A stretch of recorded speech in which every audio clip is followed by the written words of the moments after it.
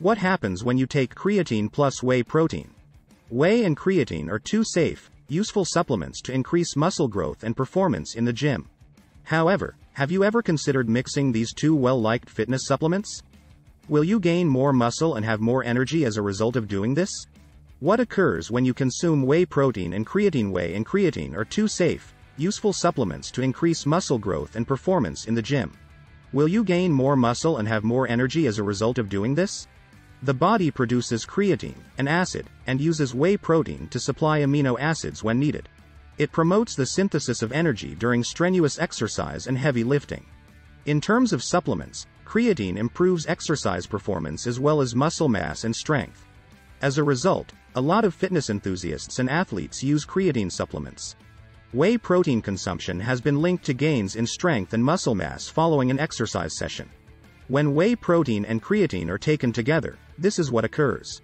Whey protein and creatine are absorbed and used when required.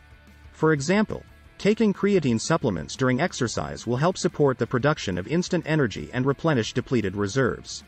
Then, to help with muscle recovery after a workout when your muscles are fully broken down, you can take whey protein.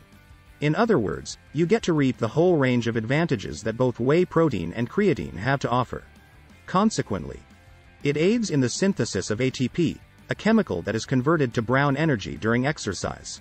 It has been scientifically demonstrated that creatine enhances high-intensity performance during training.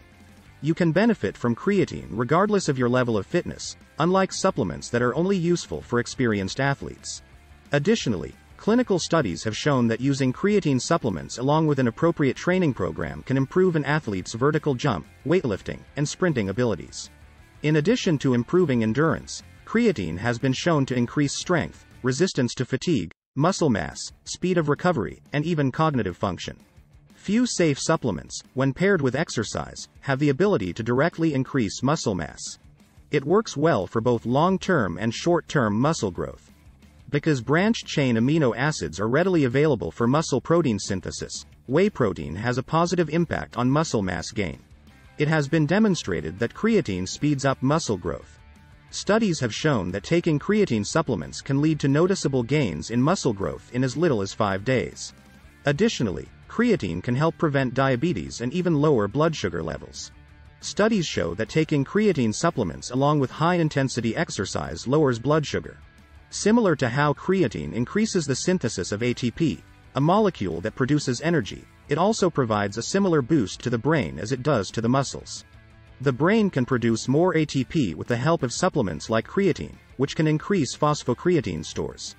Athletes most likely use whey protein for its ability to expedite muscle repair and recovery, which is perhaps its second most important benefit after muscle gains. Consuming proteins is crucial for aiding in the recovery of your abused muscles after a workout. Specifically, whey protein's amino acids, BCAAs, help your body create and repair muscle tissue more effectively. Leucine, one of the three necessary BCAAs, also promotes the synthesis of muscle protein.